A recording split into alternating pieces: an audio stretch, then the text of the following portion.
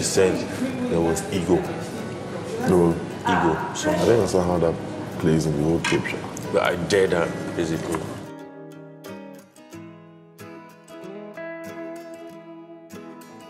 Another thing why I vex for Ike.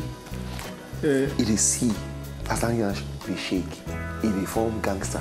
For, No, no, for, gangster. for, Ike party dey room. shame. You know no say Ike dey shame over. You know one time when start dey follow me dance o. As I dey come out, I say don't worry, take my house rent and my car keys. E sweet my body eh. Say yay, which kind life be this?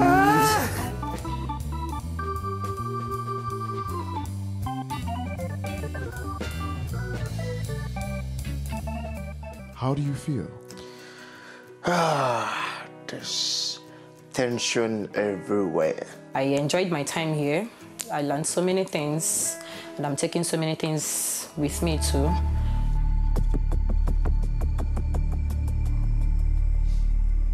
Nelson.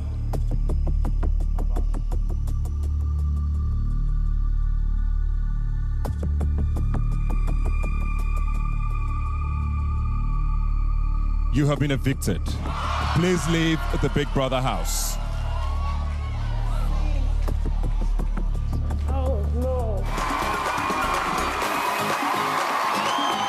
It looked like it was Diane that was supposed to be in your space. Then Esther came into the mix.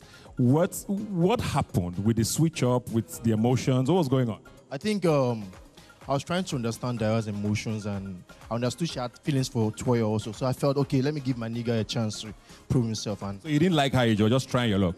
I liked her that much, but at the first, I think I was not emotionally ready for that kind of relationship. Thelma.